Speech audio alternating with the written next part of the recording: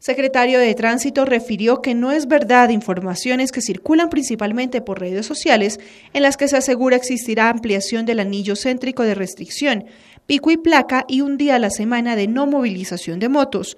Los decretos se mantienen, pero hasta el momento no hay modificaciones. Continuamos trabajando, haciendo la, eh, acción operativa y obviamente eh, es, eh, no es cierto que se como se está presentando en redes, que se hayan ampliado el anillo, que haya mayor número de restricciones por semana, que se limita en determinados días de la semana no sacar las motocicletas.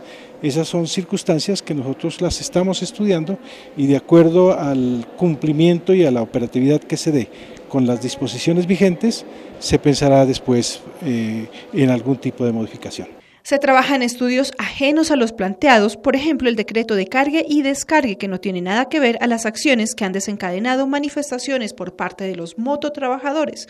Con los asociados se continúa en mesas de concertación. Es un tema que tiene que adelantarse, eh, se están retomando y se harán los análisis frente a las pretensiones que ellos tienen.